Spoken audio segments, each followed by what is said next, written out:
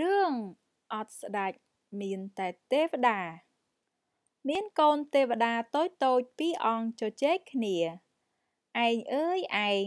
ឃើញតែហោះទៅហោះមកមិនដឹងជាទៅណាតិចទៅឋានលើពីឋានលើចុះទៅដីរាប់ពាន់ជើងក្នុងម៉ាដង្ហើម មិនហត់ទេអីហត់អីជាកិច្ចការរបស់យើងទៅហើយបើហ៊ានរអ៊ូថាហត់នោះយើងច្បាស់ជា បាបធ្លាក់ដីវិញខានធ្វើជាទេវតាហើយហើយចៅឯងហោះច្រើនយ៉ាងនេះនាំស្អីគេទៅឋានលើ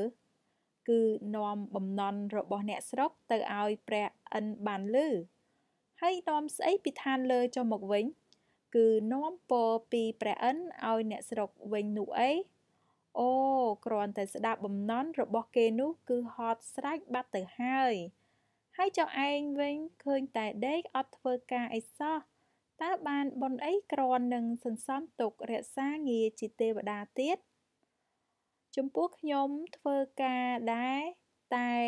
ការងាររបស់ខ្ញុំ គឺផ្សេងពីអ្នកហើយព្រះឥន្ទចាត់ទេវតាតុយឯងឲ្យធ្វើអីទៅ គឺដេករាប់ថាតើមាននរណាខ្លះទៅធ្វើបន់លាបំណន់ ឬបន់សងបំណន់នៅពេលខ្លួន បានសុខសប្បាយបន្ទាប់ពីបន់ហើយ បានទទួលពរជ័យបានសម្រេចដោយបំណងរបស់ខ្លួន ហើយអត់មានអ្នកណាមកធ្វើបន់លាបំណន់ឬសងបំណន់អីទេមែនទេព្រោះតែមិនសូវមាននឹងហើយបានជាខ្ញុំដេកកងតាក់ស្លាអត់មានការអីធ្វើនឹងណា សូមប្រិមិត្តអ្នកស្ដាប់ទាំងអស់មេត្តាជួយ Subscribe like និង share ដើម្បីទទួលបាននៅរឿងនិទានថ្មីៗពី Channel របស់នាងខ្ញុំ